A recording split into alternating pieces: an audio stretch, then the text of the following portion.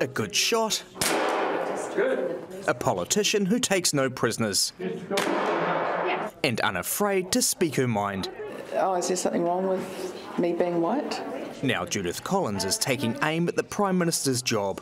In her Papakura electorate today, they liked her chances. She's a strong woman, and I think National needs a strong leader. Probably the only choice. hey. I think she's got a lot going for her in a lot of ways and that, and um, yeah, she's pretty astute. National finally giving her the reins. The National Party have bitten the bullet, that the MPs have decided that it's now or never, their backs are really against the wall. Well known as Crusher Collins, after targeting boy racers' cars. Every new offence will now bring them closer to the crusher. She was a lawyer before politics.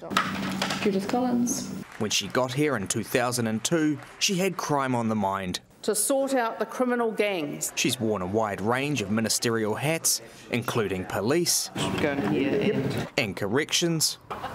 I'm not going to argue. But she's also been caught up in numerous scandals. I've been called the most dreadful things. I've made it quite clear to her that if we're the government post September the uh, 20th, uh, she won't be uh, in cabinet. Most notably, she was a key player in the 2014 dirty politics saga. What she was doing was feeding leaks and gossip to Cameron Slater, and it was being used to attack her opponents. And the most nasty things were actually against her opponents inside the National Party. Judith Collins clearly isn't dwelling on it. Clearly. Politics was a bestseller at the time. No, no, no, think, no, but it's think... far oh, surpassed by my book, John, and much more positive book. I very much doubt that she's going to change her spots. But now it's national, not the blogger knockdown.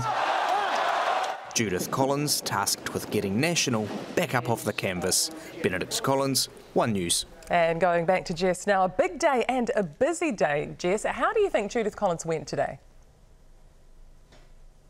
Look, she was relaxed, she was very comfortable, she was living her best life. The leadership choice today, was all about steadying the ship, firming up the base and stopping National voters from panicking and fleeing from the party. This is by no means a fresh look for the National Party. Gerry Brownlee and Judith Collins, between them, have four decades of experience in politics. But what we're being told time and time again today is that Judith Collins is the right person for the job right now, while the National Party is in a crisis.